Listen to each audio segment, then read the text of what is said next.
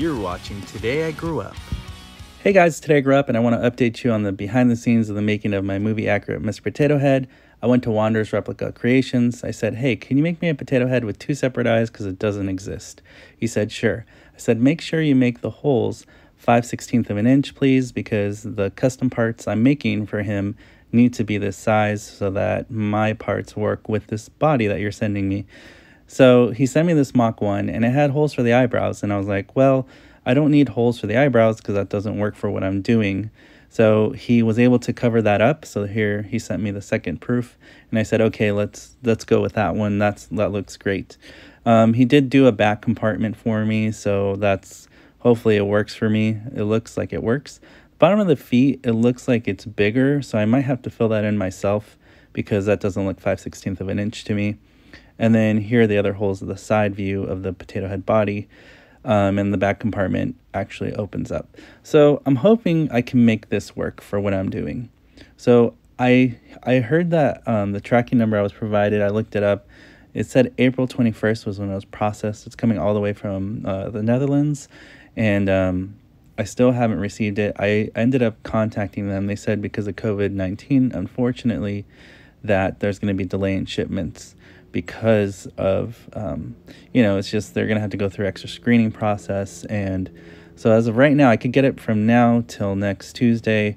I don't really know yet. It's been 36 days in transit. I don't think i've ever had a package take this long to get to my house. So 36 days in transit. So unfortunately guys i don't have the movie accurate mr potato body because it's still in the mail and it's been delayed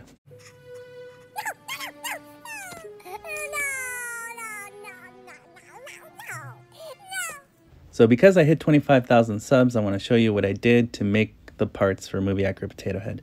So I got Playskool Bucket from 1987, which included some very useful parts that I was going to use for this custom mod.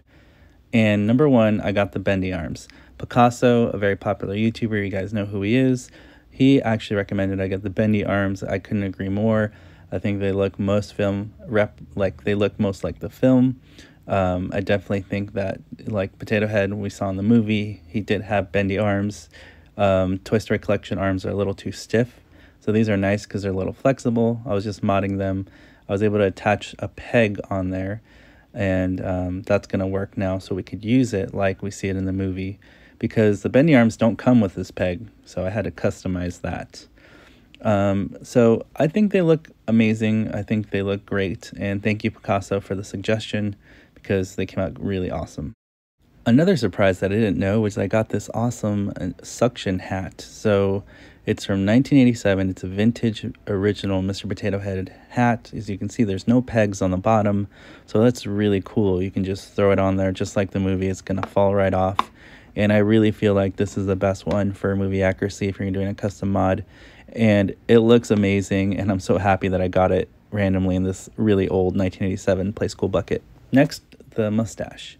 Um, this is the Toy Story 4 Playskool Potato Head mustache. I cut the top of it um, because in the movie, his mustache has that kind of top attachment where it just slips onto the peg this way. Uh, so I think this looks really good. I can always paint the mustache, um, but I think it looks pretty good right now. Um, so I went with this nose. Toy Story Collection nose because I feel like that was the most movie accurate for me. But the back, I had to gut it because it had attachments that weren't meant for a potato head, regular potato head hole. So I ended up gutting it and I super glued this peg in there so that it could fit. And um, I think it looked really great. So the Playskool Toy Story 4 nose is here on the right. I cut the peg off of that and I used it for a Toy Story Collection nose. And you can see uh, from the movie still I really think in shape and size and color, Toy Story Collection nose nails it a lot closer. Playskool, not so much, a little bit smaller. And then the 1987 Potato Head nose I, I randomly got in the bucket was a little too big and not movie accurate with shape and size. So Toy Story Collection was the way to go. It was worth modding it. It was it was not easy to do, um, but I'm glad I didn't break it, and I was able to put a peg in there, and so now that's gonna work for his nose and mustache combination. I really like the toy mode. I, ch- I chase toy mode all the time. And Miss Potato Head's lips look like Playskool right here, Toy Story 4 Potato Head lips. So these are unpainted, unmodded, they're just factory. And I'm going to use that for my potato head. I think it looks great. And uh, once I put it together, I'll have a better idea. I got Toy Story Collection ears because I think that looks more movie accurate and I gutted the mechanism, which is a different kind of peg, and then I put the Playskool Toy Story 4 pink pegs instead. So that's why they look a little bit different shade of pink. That doesn't bother me too much. I can always paint it, but it just functionally works and it's gonna look really amazing once I put it on the potato. I actually mixed this paint color myself. It looks exactly like Toy Story 1 if you see that shot, it's the color looks spot on. It's a turquoise blue. It's not too glossy. It's more of a matte, but has a little bit of a shiny tint, which I actually like. I used acrylic paint. I mixed some blue and whites, and I made this cool um, turquoise color, and I just think it's awesome. I took the bottoms off. These are the Toy Story collection shoes, and then I painted the bottom, the tops, and then I also attached a blue peg from an old vintage potato head shoes and I just made it work. I put the peg in there and now it works. These are the blind squirrel props eyes. Um, I had blind squirrel props guy fill in the top of the eyes so you don't have that little indent. Usually that indent is in there for um, the eyebrows, but I want them to be just like the movie. So I had him fill it in. Then I painted it all white myself and then I attached the regular potato head pegs for the potato head. Here are the pupil stickers. They're black. I'm going to put them on once I'm ready to assemble my potato head, once I get the body and have a better idea. Now, these are the Blind Squirrel Props eyebrows. I don't really like them.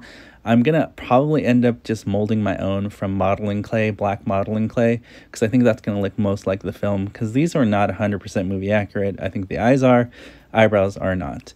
So here is um, a regular potato head body. It's a Playskool Toy Story 4 one, just to sample and show you the size of the pegs. They do work. Blind Squirrel Props pegs are the ones that I used, and I have no problems attaching these custom parts that I created for um, Movie Accurate Potato Head. I think they're going to work great as long as I can make the holes all 5, 5 16th of an inch then all my parts that I created are going to work great. So this custom mod is coming together. I just really love that the pegs are holding. Everything I did to attach the pieces um, worked and I definitely want to give another shout out to Picasso for the help because he helped direct me through this process in some of the help. But even bounces, the bendy arms are moving around just like the movie. I think it looks really cool. And this is just to show you guys that once I do get the movie accurate body, I can paint it, I can mod it, try to make it most movie accurate because nothing is really actually movie accurate. We're just trying to chase as close as we can to the film. And so this is my attempt to do that. So yeah, it's not going to be the most movie accurate potato head in the world, but I am chasing that actual functionality where it's actually a toy you can play with. It looks like the movie, and I want to get it as close to I can, to the look of the toy mode Mr. Potato Head as possible. So hopefully, with all this custom hard work that I've done. It took me months to get here. Um, we can pull off something that looks really amazing. So I can't wait to get that body and finish uh, everything to show off my movie accurate custom Mr. Potato Head. And I'm going to give it my best shot. So thank you guys for watching, for liking, for subscribing to my content. It's really helping make a difference and make this channel stay alive. So I'll see you guys on the next video review.